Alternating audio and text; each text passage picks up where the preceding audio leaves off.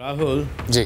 Frankly बताइए आपको लगता है कि अभिनव फाइनलिस्ट बनकर आगे जाना डिजर्व करते हैं?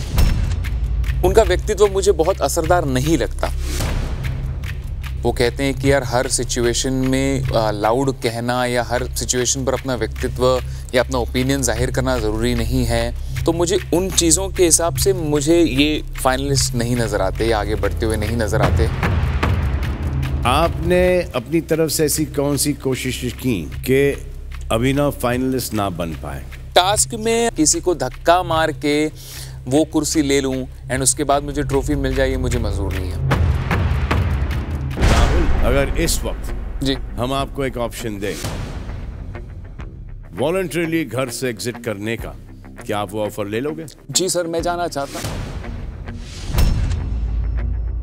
Lack of enthusiasm, lack of interest towards this show. Sir मैं इसकी वजह थोड़ी इलेबरेट करना चाहता हूँ। कोई ज़रूरत नहीं है।